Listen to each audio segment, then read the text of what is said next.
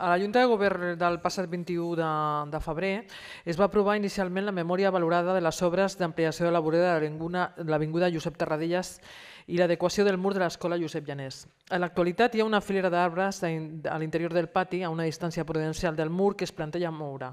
Aquest, però, és un, un, no es veu reflectida en el plànol d'emplaçament, ni a l'estat actual ni a la proposta. Només tenim referència de l'existència dels arbres de la secció del mur. Volem saber quin destí preveu el projecte per aquesta filera d'arbres i preguem que s'actualitzin els plànols presentats per re, re, reflectir la realitat actual i preguem també la conservació d'aquests arbres.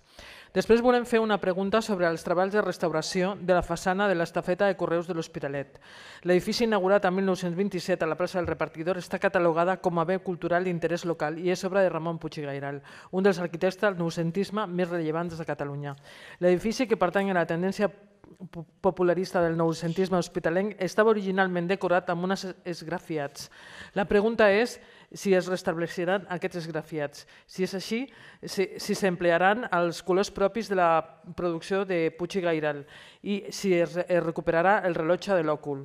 També volíem fer un prec, que es torni a instal·lar la bústia del cap de lleó, que durant tants anys va formar part del conjunt.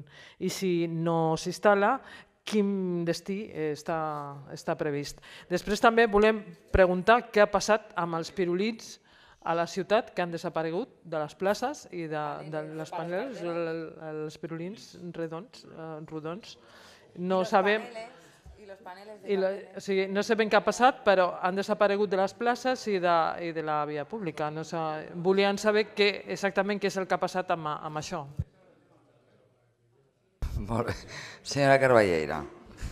Volia fer una pregunta i un prec. Eh, Mm, no he empezado.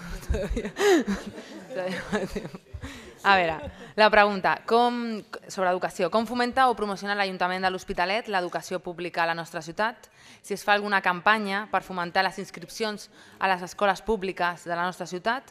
Durant, durant aquest període d'inscripció veiem com diversos ajuntaments del voltant sí que fan aquestes campanyes per tal de fomentar i donar suport a l'escola pública, però no sabem què està fent l'Ajuntament de l'Hospitalet en aquest sentit, o si és una tarea que l'ha deixat delegada als moviments socials com pot ser la xarxa groga que fa la seva campanya cada any.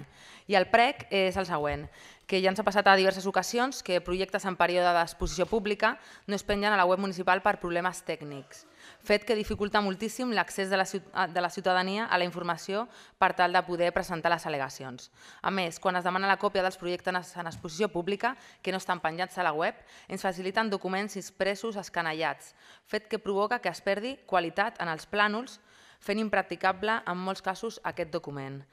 Va passar en el projecte de resfaltat del pàrquing i d'implantació del carril bici de travessia industrial i ara també ens ha passat en el projecte d'urbanització de la cantonada est de la Rambla Marina i la travessia industrial al barri del Vitxa.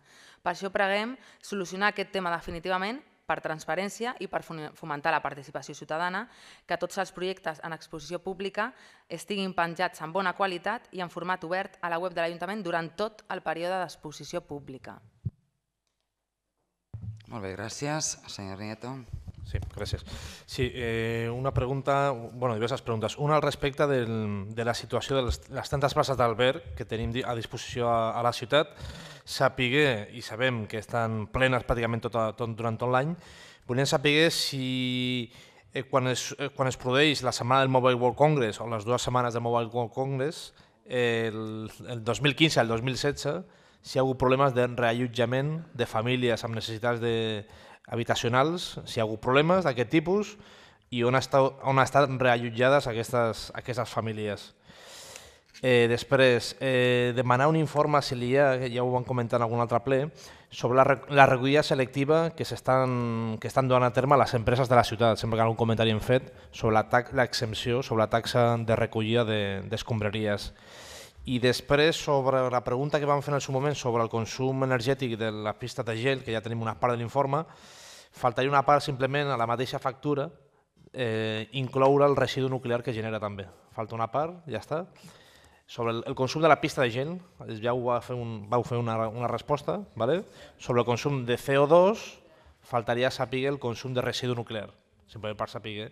Una... Ja està la factura, eh? En el mix de la factura energètica està. Vale? Vale? I per acabar un prec que ens van demanar formalment que s'havia de fer així, de sol·licitar a la Guàrdia Urbana que faci el requeriment a aviació civil per aclarir aquest tipus de vols que hi ha a la ciutat de manera recurrent amb helicòpter. Sembla que ens han dit que això ho hauríem de fer així, amb un parc directament a la Guàrdia Urbana. Gràcies.